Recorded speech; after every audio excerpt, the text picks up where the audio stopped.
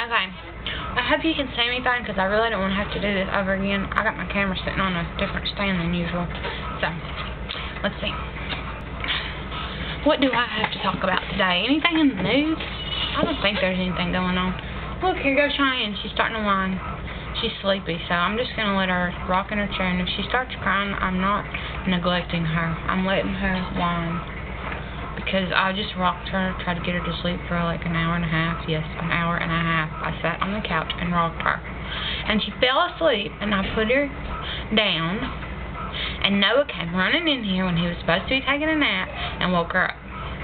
So I had to put her back in her swing, because usually that gets her to sleep. Hair's all up in my face. Oh. And so anyways, now she's in her swing mad because she's tired and her brother woke her up.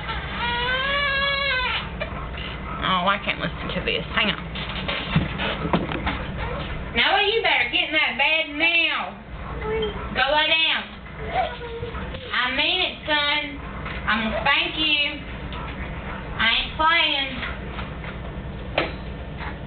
Come here, baby. I'm not playing, Noah. Go lay down. Okay. So Justin's out of town on a trip. He left this morning. He had to drive to Little Rock, and then he had to fly to Atlanta, Georgia, and then he had to fly to North Carolina. He works for a computer shop in uh, El Dorado. It's about 40 minutes from here, and uh, they do a lot of work for Murphy Oil USA. If you know what that is. If not, well, I'm sorry, I'm not explaining it.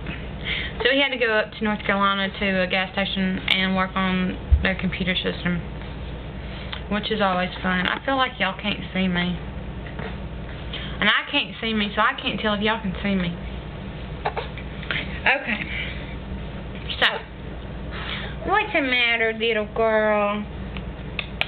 How is not happy for some reason? So anyways, my friend, my friend Lee called me yesterday asked me to come to her baby shower. She's having a baby in February, a little boy. And this is somebody that I've been friends with since I was in like the seventh grade. And she's really flighty and she's dingy and she's one of those type of people that's always around and up your butt whenever she doesn't have anything about else to do. But as soon as something else comes along, you never hear from her.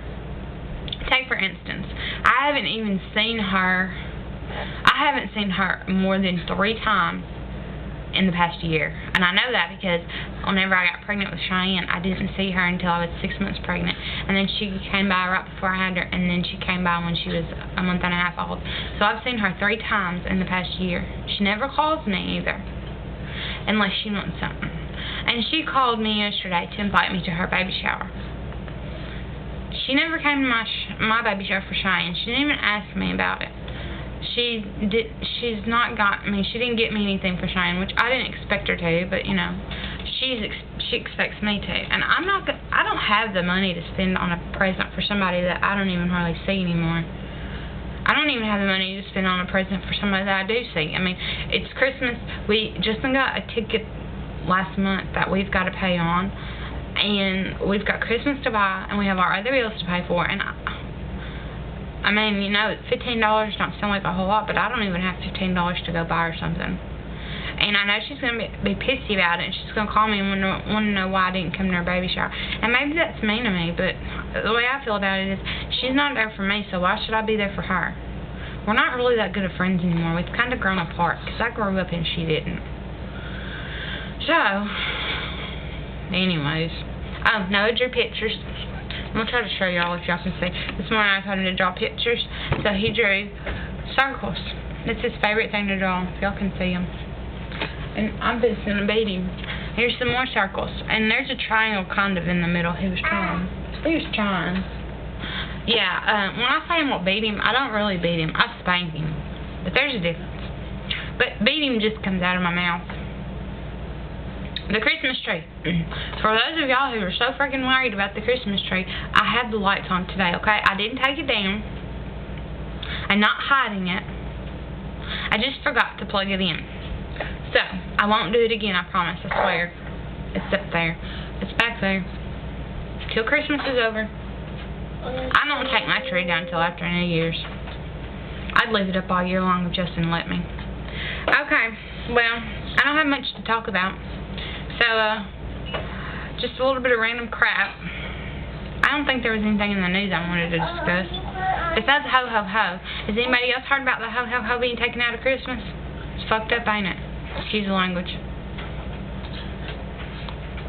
Yeah, they took it out because they said it was derogatory. Somebody somewhere got pissed off because they want they assumed that Santa Claus was calling out the hoes. I guess I don't know. They took it. You're not allowed to put it on merchandise, and you're not allowed to say it. Santa Claus ain't allowed to say ho ho ho anymore. Oh well. Next year there won't even be a Santa Claus, so we better cherish him this year. All right, y'all. I'll talk to y'all later. Bye.